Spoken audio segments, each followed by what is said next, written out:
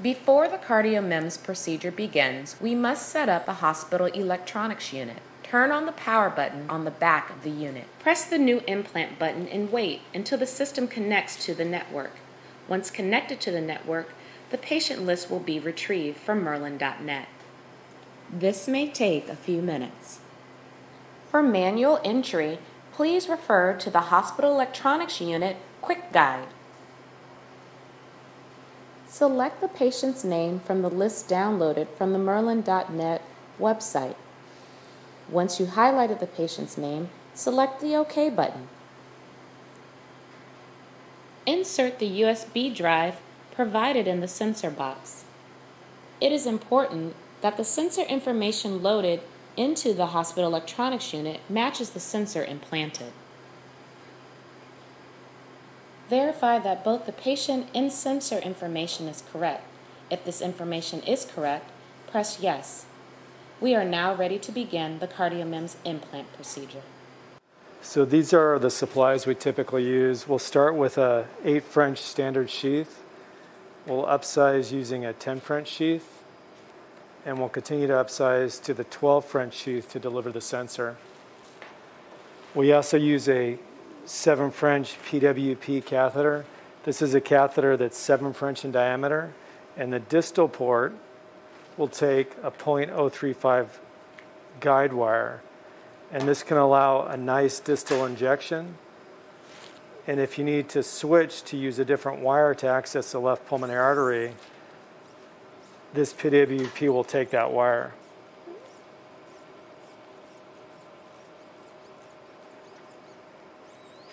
And then we usually have a 0.035 exchange length angle glide wire available in case we have a problem going into the left pulmonary artery.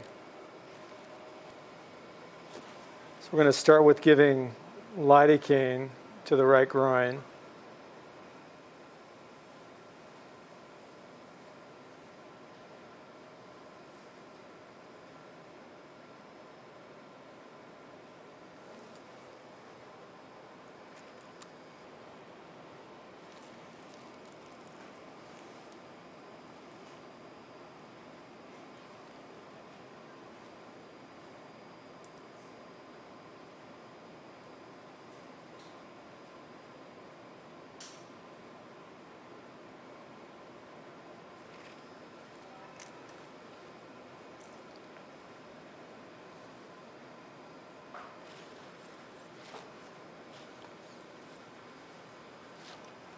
So here's an 8 French sheath going into the right coming from artery. A little pressure.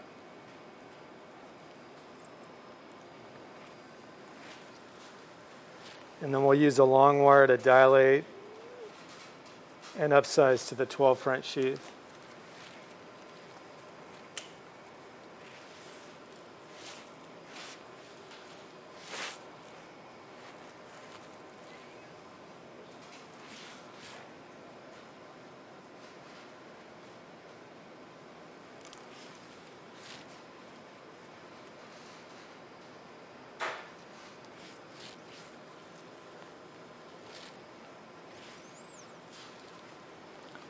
So here's a 12 French sheath to dilate with.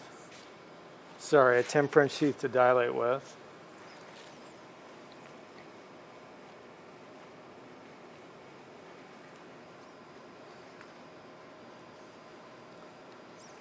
And then we'll put a 12 French sheath in.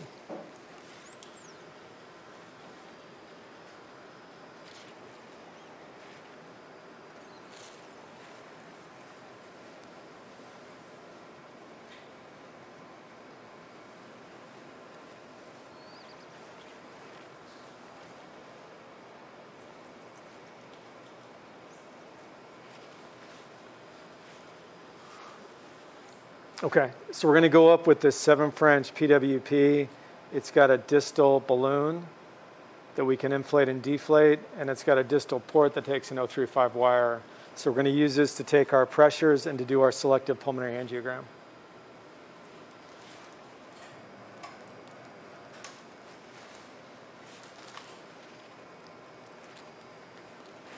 Okay, so here's, here's the right atrial pressure. We're going to advance into the right ventricle. So here's the right ventricular pressure.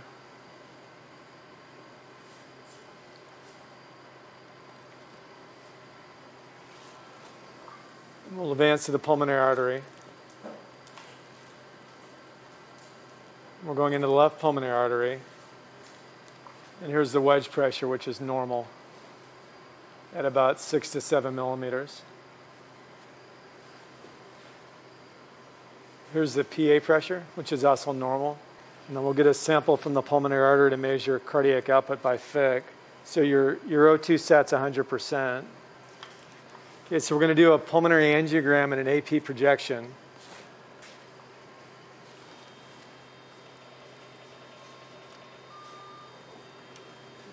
So that was three, three cc's per second for five total cc's.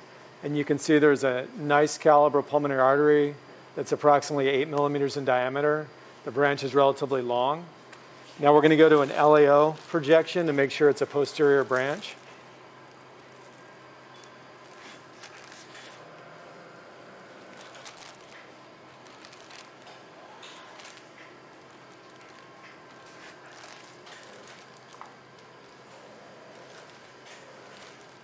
So here's a 60 degree LAO projection, and we'll repeat the injection. You can see it's a very posterior oriented branch. So we're just going to estimate vessel size at about 8 millimeters. If you wanted to measure, you could put up the balloon or do something else, but we're just going to estimate it. We'll go back to a PA projection now.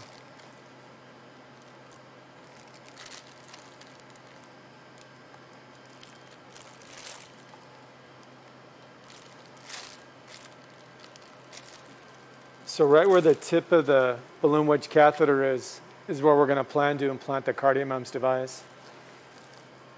And if you look, there's a little bit of coronary calcification and an LAD stent there. And we'll try and put the CardioMEMS right at the top of that rib. So this is the CardioMEMS wire. It's a wire made by a company called Neometrics. And it's a moderate support wire that's 0.018 in diameter. And we're going to put it in without putting a bend on the distal tip of the wire. So here's the device. It comes in this delivery hoop, and we'll just pull the device straight out. And the sensor is on the distal portion of the device. The sensor is tethered by this tethering cord. So to prep the device, we're going to flush the distal port. It's an over the wire system. So we'll flush the distal port. And then we'll take the sensor the sensor is placed in heparinized saline and agitate it for 15 seconds.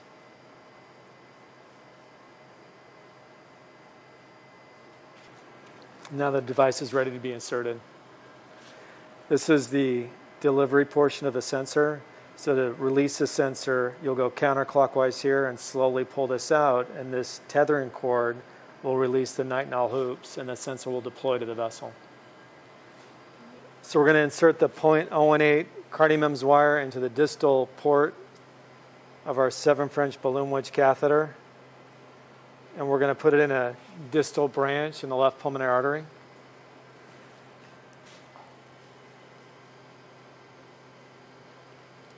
And there's two branches here that go inferiorly. We're going to see if we go in the middle branch. If we go into the left branch, it'll still be okay, but it looks like the wire took that middle branch. And so we'll put it distal here in the middle branch, and we'll try and take care not to put a, a bend into the distal portion of the wire. So now they're all the way down that middle branch. And so now we'll walk out our 7 French PWP, and we'll keep our wires distal as we can.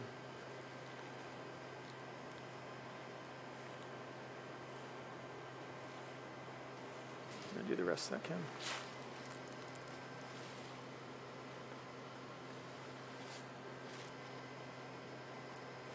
Get it?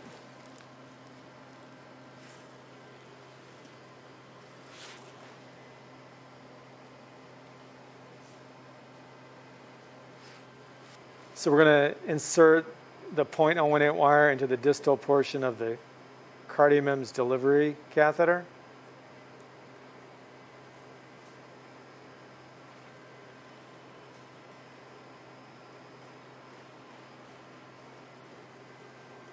So I'm going to hold the sensor as it goes through the 12 French sheath to prevent the sensor from moving on the delivery catheter.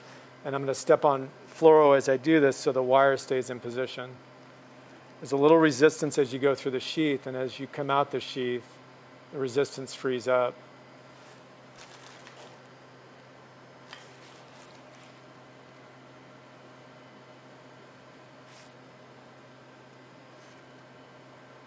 So here's the sensor coming through the right heart. We're in the IVC, going into the right atrium.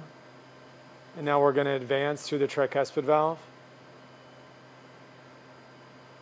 We're going to come over into the left pulmonary artery, and you can see the sensors tracking without moving.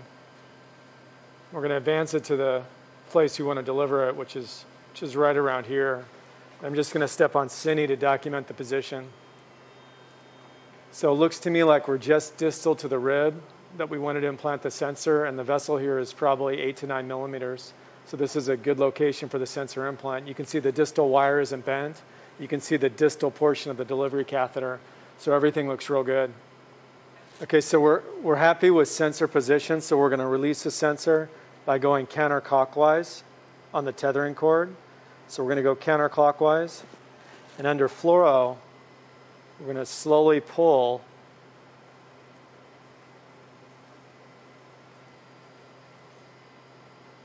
the tethering cord the length of the system.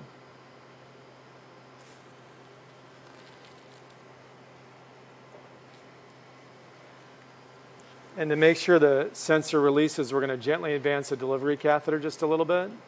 And then under fluoro, we're going to pull the delivery catheter back we're going to make sure the sensor doesn't move at all. And the sensor is staying in place, it's not moving at all. Now the delivery catheter is at the sensor, and now it's above the sensor. We're going to keep our wire position so we can reinsert our PWP to remeasure our pressures and calibrate the sensor. You want to walk that out, Ken?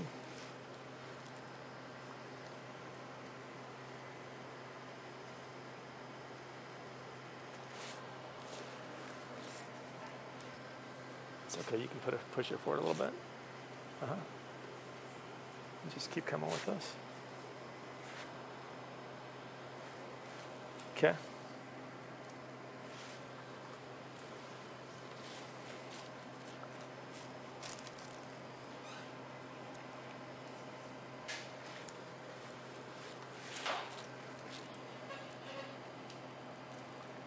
So now we're going to reinsert our PWP.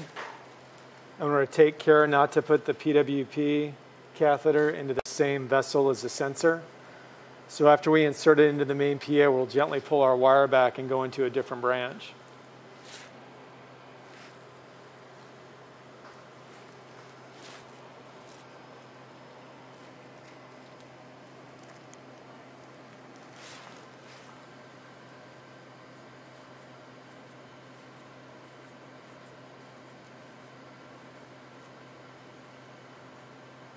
So here's the PWP coming to the main pulmonary artery. And then we're just going to pull our delivery wire back. The sensor's not moving. We're just going to gently advance our catheter. Now we're going to remeasure our pulmonary artery pressures and calibrate the sensor.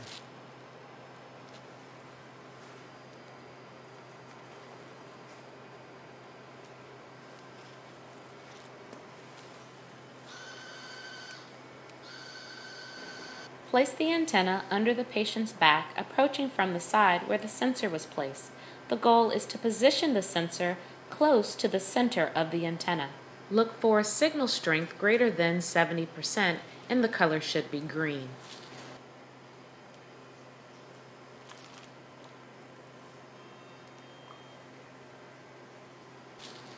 To set the PA pressure baseline, wait for the screen to fill with a stable pressure waveform and then select the Set Pressure Baseline button. Enter the mean pressure from the pulmonary artery catheter measurement and then select OK.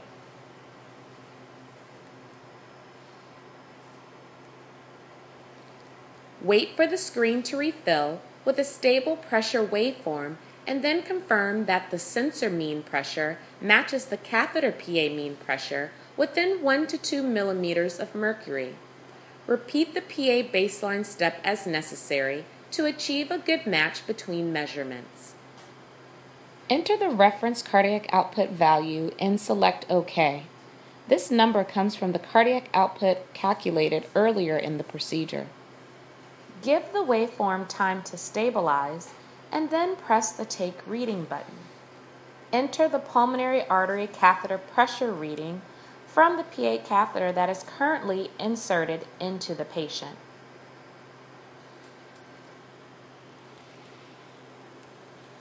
Confirm the reading is correct and then press Yes. It is recommended that you repeat the take reading step three times.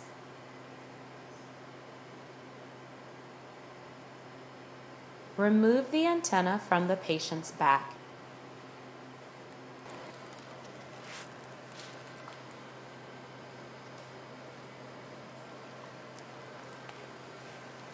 So there's different ways to get hemostasis. We favor just doing a figure eight suture under the 12 French sheath.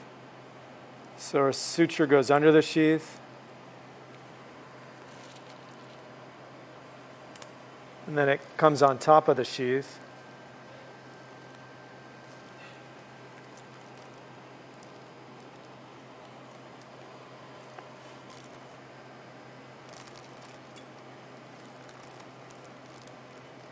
And the sheath comes straight out. And you pull down on the suture.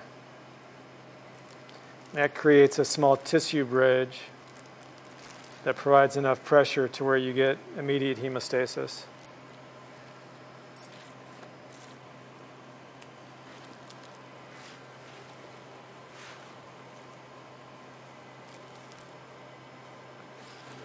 Press the exit button.